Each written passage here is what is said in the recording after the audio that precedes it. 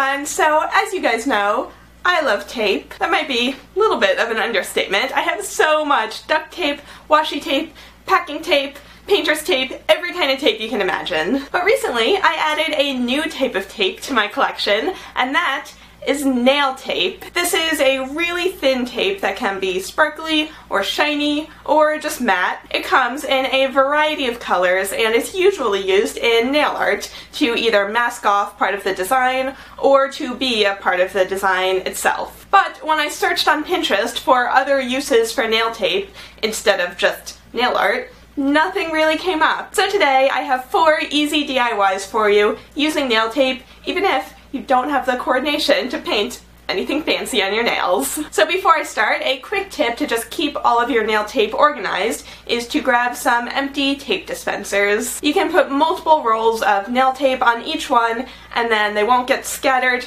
everywhere and also they look really pretty. So for the first project, I think we can dress up this plain triangle vase that I got at the dollar store. The nail tape actually stuck really well to glass. So I just cut off pieces and stuck them on in varying angles.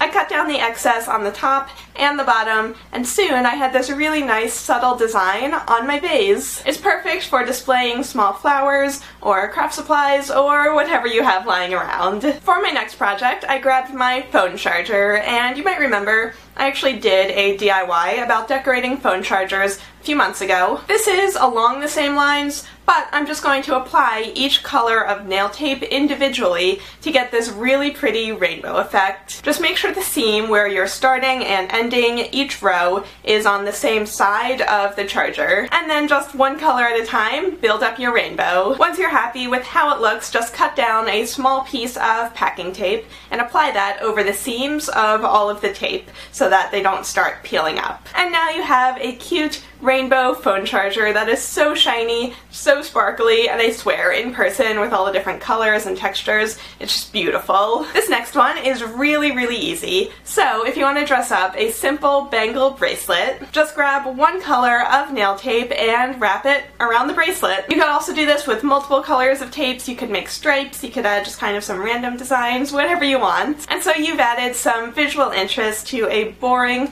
plain old bracelet. And plus, if you ever want to change it up, it's removable. And finally, I'm going to make a fun pattern using both washi tape and nail tape. I'm going to put it on a phone case, but you could also do it on the cover of a notebook or in a scrapbook or wherever you just want a fun pattern. So just cut out the shape of your phone case from cardstock and cover it in washi tape. I decided to go for a black and white polka dot design. Trim that down and then just start adding diagonal stripes with the nail tape. Add as many as you like and fold the excess over to the back of the paper. And now you have a really fun pattern that you can pop into your phone case if you want to turn your phone into a fashion accessory. I love the subtle pop of color and a little bit of shininess if you catch the sun just right. I think it came out so cute. So I hope you guys liked those DIY DIY ideas, let me know in the comments if you ever use nail tape, if you use it on your nails or for any other DIY projects. And remember that August is going to be our back to school month,